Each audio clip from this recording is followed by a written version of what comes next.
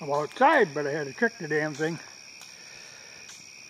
You know, you the flashlight to keep the flash from coming on because I didn't feel that I needed it. It's funny, I was working and a, a, small flock of geese went over again. Now, every morning they go over going that way and evening, man, they're going back the other way. And there's maybe like 25 of them. But it's interesting. Uh, for some reason, the way the land lays here, uh, this is a major flyway for flocks of geese.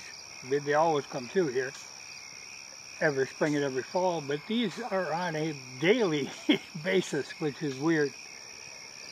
And they always honk when they go over. You know, I, I was saying about uh, odd materials, you know, that I've got a lot of interesting materials. And I was certain to them. And I run across this, and I remember when I bought it, I was puzzled by it. I don't, I don't quite know what it's made out of. I mean, it's like a very primitive sort of thing. It might be, I don't know, it might be camel hair. I don't know. It's interesting though. But it was made on a, fairly small loom because it is made of three strips this wide and they are all sewn together down the whole length. But it's one of them things that it is so interesting or just so peculiar. I mean, it's kind of cool. So I can't quite bring myself to make a rug out of that. It might be hemp, or it might be like a linen warp, some kind of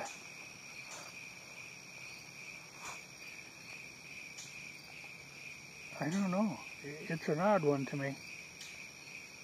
You know, I'm very familiar with fibers, but this particular thing, which makes me think camel. I don't know. I don't know what else to think. But I'll have to hang on to it. I mean, if it was torn up, I could see turning it into a rug, but it appears to be in good shape. Just very strange. Okay, earlier today, if you remember, there was a, a movie called Doctor Strangelove from uh, early 60s, mid 60s. I had watched that again because I was thinking about this uh, you know, over in Europe, playing around, cruising back and forth, are our B-52 bombers out of Minot. Earlier, they had flown over to England, and now they're kind of patrolling the area there. And it made me think of that movie. And then, you know, like our, our, uh, our military is puzzled. You know, we send all this stuff over to Ukraine. And the Russians will take it out once it gets to Ukraine. But our military is puzzled as why they don't take it out before Ukraine. Why don't they uh, sink some ships or shoot down some air transport. They can't figure this out. So they're going to actually step it up a little bit just to provoke the Russians. And this, this seems incredibly reckless to me. You know, they're going to, you know, their intention is evidently to push this until we have an incident. that then we can escalate it all out of control. But it made me think of that movie.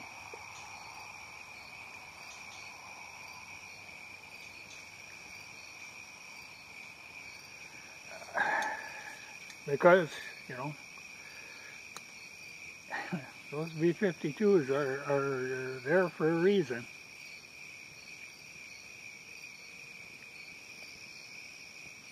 Just seems insane. But to hear our military and, and, the Pentagon saying, you know, they're they're they're rattled because that they haven't actually taken down an American plane. So they're going to step it up until they do. Just incredible to me. You know, despite that fact that only 30% of this stuff actually ever gets to the battlefield, they're going to push a bunch more in. Just to try to provoke some response from the Russians. If they can just get them to take down NATO aircraft.